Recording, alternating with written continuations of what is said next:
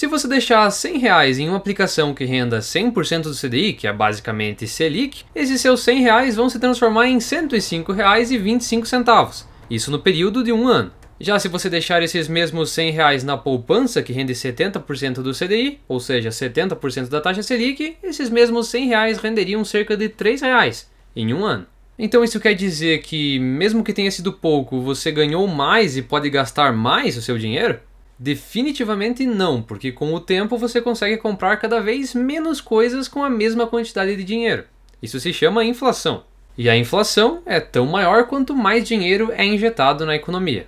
Para conseguir pagar o auxílio emergencial, por exemplo, né, agora na pandemia, os governos ao redor do mundo estão tendo que basicamente imprimir dinheiro. E isso gera um consequente aumento no preço das coisas. E é esse aumento, essa inflação, que é medida pelos índices IPCA e IGPM, por exemplo com uma inflação acumulada em 12 meses de 8%, para que você pudesse comprar a mesma quantidade de produtos e serviços com 100 reais, você precisaria que em 12 meses ele rendesse cerca de 8 reais, apenas para você não ter o teu poder de compra diluído pelo mercado. Então quer dizer que não vale a pena nem poupar e nem investir, já que a Selic não é capaz de proteger o meu poder de compra? Não é isso. A taxa Selic é chamada de taxa básica de juros, porque ela é apenas uma referência para o resto do mercado. Você pode, sim, emprestar o seu dinheiro para o governo e ser remunerado com base na taxa Selic, mas pode também emprestar o seu dinheiro para um banco, por exemplo.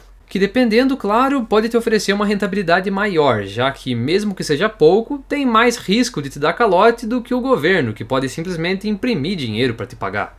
E essa rentabilidade que você vai ter normalmente segue a referência da Selic, proporcionalmente. Tanto quando é você que está pegando dinheiro emprestado, como quando é você que está emprestando dinheiro para um banco ou para o governo, as taxas de juros são pelo menos baseadas na Selic.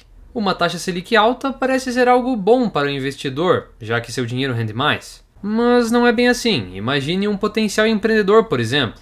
Ao invés dele abrir a sua empresa gerando empregos, renda e riqueza para o país, ele prefere simplesmente emprestar seu dinheiro para um banco ou para o governo mesmo.